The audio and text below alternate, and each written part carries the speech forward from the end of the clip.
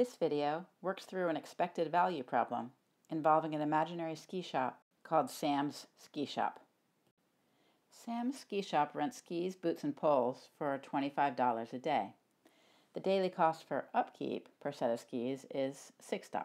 This includes maintenance, storage, and overhead. Daily income depends on the daily demand for skis and the number of sets available. Sam knows that on a typical weekend, the daily demand for skis is given in this table. So, for example, sometimes Sam gets 85 customers. That happens 0.125 is the fraction of time that happens, or 12.5% of the time. Sometimes he gets 86 customers. That happens 0.15 fraction of the time, or 15% of the time, and so on. Now, let's suppose that Sam has 87 sets of skis to rent out. We want to figure out his expected daily profit.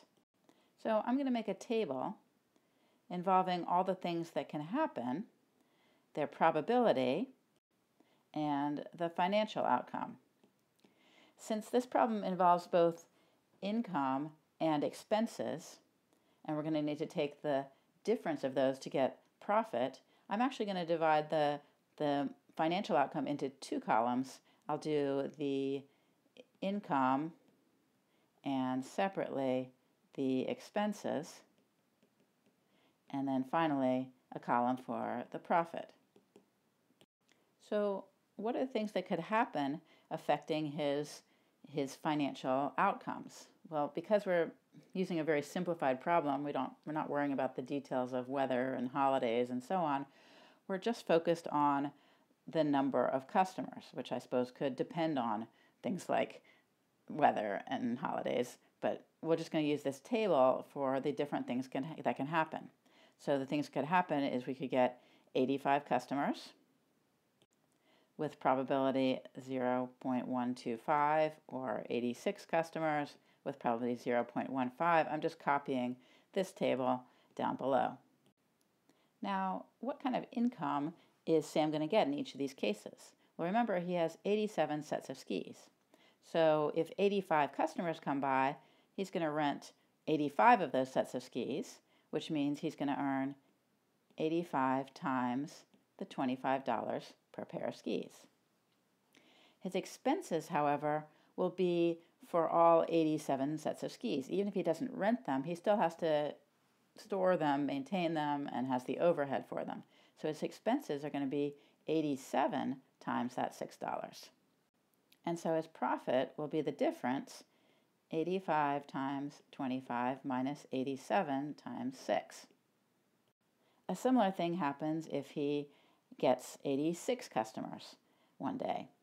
So that will have an income of 86 times 25, expenses of 87 times 6, and a profit of the difference. If 87 customers show up, he'll rent all 87 skis and he'll pay the maintenance for all 87. But something a little bit different happens if there are 88 customers who show up. He only has 87 sets of skis to rent, so he's only going to be able to get an income of 87 times the $25. The same thing would happen if 89 customers show up. He still can only rent 87 skis and get the maintenance costs will also be a fixed cost of 87 times 6. So his profit in the last three cases is going to be the same each time. Now to figure out the expected value, his expected profit, I'm going to need to multiply my profits in each situation by the probability of that situation and then add those all up. So that's going to give me, in the first row, I'm going to multiply this probability by this profit, which gives me a dollar amount of 200, 375. Continuing to multiply profits by probabilities, I can fill in my column as follows. My expected value is the sum of these numbers, which is $1,643 exactly. Notice that since the expenses column is always the same no matter how many customers show up. We could have done this problem a different way and just focused on the expected income and subtracted the fixed expenses at the end. If we just looked at the expected income, expected value for income, we could have calculated that by multiplying our income dollar amounts by the probabilities and added them all up. And that would have given us an expected income of 2,165. And then when we subtract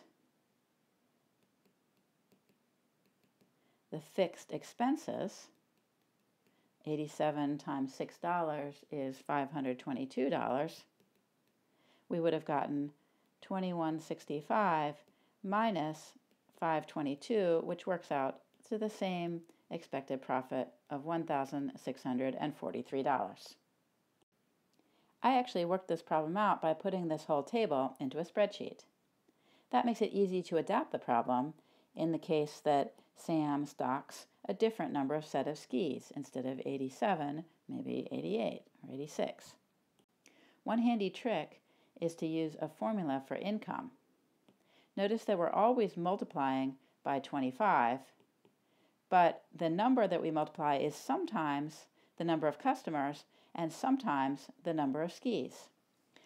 In fact, we multiply by whichever of those numbers is smaller because we won't rent any more skis than we have customers, and we won't, won't rent any more skis than we have skis. So we need to multiply 25 by the minimum of the number of customers and the number of skis. In this case, that would be the minimum of whatever's in this cell to the left. So that might be like A2, the cell A2, for example, for the first one, and 87 and then we can drag that formula down and it should correctly update to give us the rest of these income values. So that concludes the Sam Ski Shop expected value problem for when Sam stocks 87 sets of skis. Ultimately, Sam wants to know how many sets of skis to stock in order to be as profitable as possible. So ultimately, we need to help Sam out by um, repeating that expected value calculation in the case where he stocks 88 sets of skis or 89 sets of skis or 85 or 86 sets of skis. There's no need to worry about stocking fewer than 85 sets or because then we wouldn't have enough skis for even the minimum number of customers expected or to stock more than 89 since then we'd always have extra skis that we're paying expenses for but not renting out.